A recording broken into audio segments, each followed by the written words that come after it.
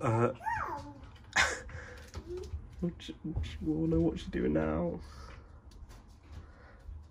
Excuse me. Hello. Oh, for God's sake, really? Yeah, yeah, really. What's what's this then? What's you're you're on my side of the house again? You're doing it to wind me up on purpose, aren't you? I'm not winding up on purpose. You. So, just so happens that out of nowhere, you know how I feel about the environment and emissions. And first it's the I don't know, no, no. First you rip up all your grass and replace it with stupid astroturf, and now all of a sudden we've got a big drink fuel drinking monster tanking that in a blooming driveway. Well, yeah, it's my well, yeah, it's my car. You've done it on purpose. Though. I've not done anything on purpose yet. this for the day. I've not hired nothing for the Is day. this a hire car? No, it's not. It's my car. So this is your car permanently. This is my car permanently. Yeah.